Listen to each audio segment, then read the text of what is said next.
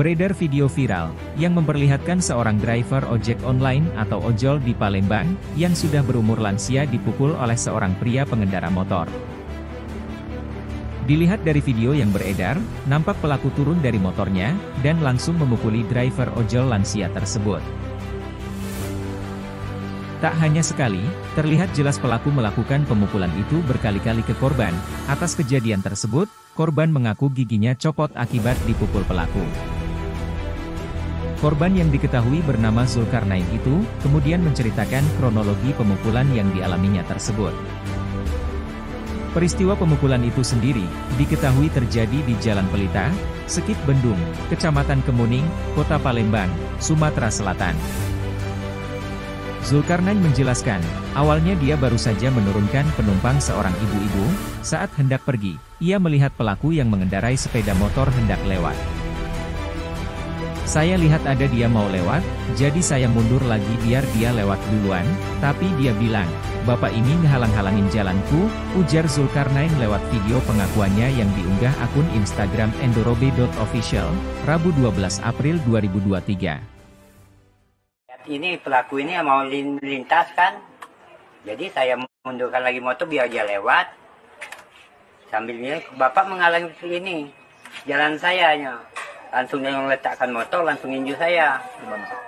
Di muka saya. Satu saya tertindih motor itu ditinjunya lagi di muka saya lagi. Apa yang buka bibir pecah, pecah gigi patah satu satu kaki ini terlindas oleh snelpot Setelah diberi jalan oleh Zulkarnain, pelaku kemudian langsung turun dari motornya, dan lantas memukuli korban yang masih mengenakan jaket ojol tersebut. Zulkarnain menduga, bahwa pelaku memukulinya untuk dijadikan pelampiasan masalah pribadi. Habis mukul saya dua kali itu, dia bilang, aku ini lagi pusing, aku kehilangan anak, dia nggak pulang-pulang, ujar Zulkarnain. Selain luka, Zulkarnain juga trauma atas insiden yang dialaminya. Saya belum narik penumpang dulu, mau istirahat dulu, bibir dan kaki saya masih sakit, ujarnya. Usai video aksi pelaku itu viral, sejumlah driver ojol kemudian mendatangi rumah pelaku, namun, pelaku sudah terlebih dulu kabur. Momen puluhan driver ojol mendatangi rumah pelaku itu, diunggah akun Instagram kabarnegeri.official.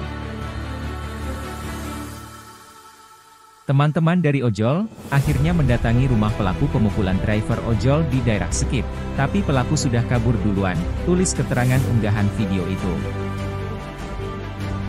Ketika puluhan driver mendatangi rumah pelaku pemukulan ojol lansia tersebut, para pengemudi ojek online, malah dimarah-marahi oleh orang tua pelaku.